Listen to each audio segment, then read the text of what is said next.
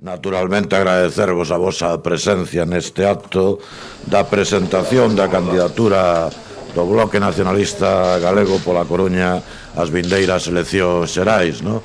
Efectivamente, falamos dunha candidatura de mulleres e homes elexidas democráticamente nun proceso participativo do conxunto do Bloque Nacionalista Galego, tamén elexidas aquí, eh? non necesitamos o aval das centrais, das terminais eh, madrileñas, como lle sucede a, outros, a outras forzas políticas. Por eso podemos decir, tamén Naturalmente, por eso podemos decir que somos o equipo da casa. O Bloque Nacionalista Galego é o equipo da casa. Está claro desde hai moito tempo. Son homes e mulleres, efectivamente, preparados desde o punto de vista político, comprometidos no social, encabezados por Paco Jorquera, no? unha persoa que, en fin, eh, recoñecido, ¿no? De recoñecido traballo por Galiza, pola maioría social, por certo, un traballo feito con dignidade, tan importante nos momentos que vivimos de indignidade, ¿no? con dignidade, ca cabeza alta, sin plegarse, dende logo, a máis intereses que os galegos da maioría desta sociedade.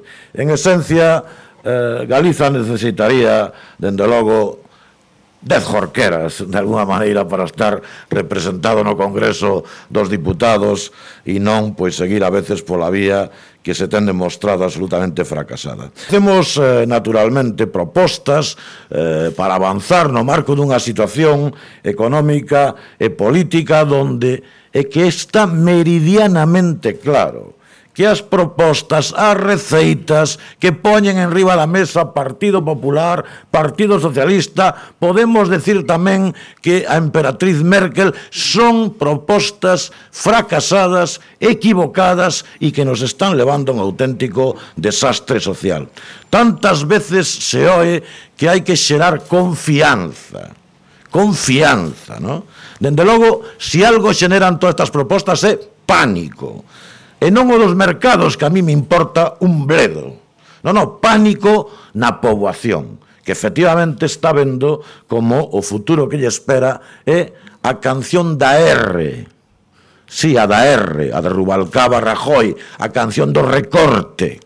Pero recorte sempre na mesma dirección. E aquelo de recorte, recorte, recorte, parole, parole, parole, recorte sempre na mesma dirección. Recortan no público, afecta tamén ao privado, ou acaso non estamos vendo como a solución que se está dando a todo é o despido, a baixa salarial. Bueno, aquí estamos xente que sabemos deso, non? Bueno, estos días, como sabedes, un broker tuvo bueno, a osadía de informarnos como funciona isto con toda naturalidade, con toda claridade. Ese broker británico nos conta exactamente de que vai este tinglao.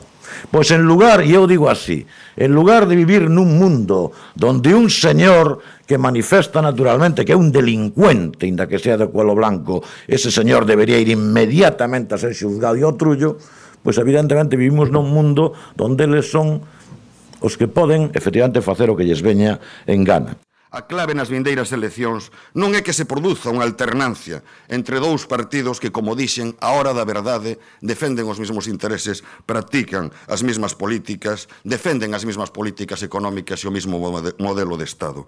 A clave é que se abra espazo para outras políticas, para políticas realmente alternativas, para a alternativa que representa o Bloque Nacionalista Galego. Para...